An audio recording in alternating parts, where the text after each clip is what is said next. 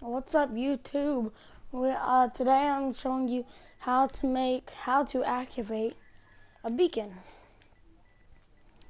So, first thing you want to do is go to world. I'd say creative because it's easiest to get the beacon on. So, I'm just gonna create the new world. Okay. If I have some friends join in, it's fine as long as they don't wreck my stuff.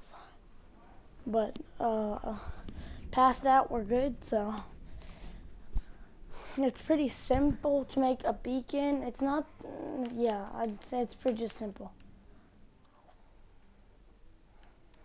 I'm just gonna go and yeah, let's go into this grassland.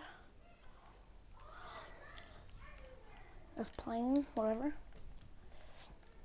First, you want to get a beacon,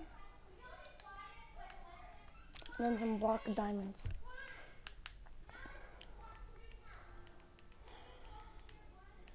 Gonna make six of these. No, I think nine, right? Yeah, nine holes. You have a diamond in those holes, diamond blocks. And after that, you put the beacon in the middle, and it'll be active. If y'all if y'all want me to go a little bit slower this time, I'll do one more. Y'all can just stop the video if you want. Just a a three by three, make a three by three. Um, three by three, and it's right in the middle, of the very middle. We'll place this, and let's see how high the beacon goes.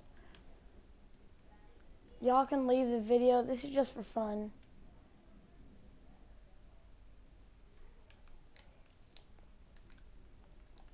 Wow. Let's fall down the beacon. Ready? Oh, this is kind of cool. YouTube, I think I'm still falling. No, that's the bottom. YouTube, um, thanks for watching, guys. And if y'all want to, uh, please leave a like and subscribe for me. It would really help my channel and provide me to make more videos like this. But thanks, guys. See ya. Peace.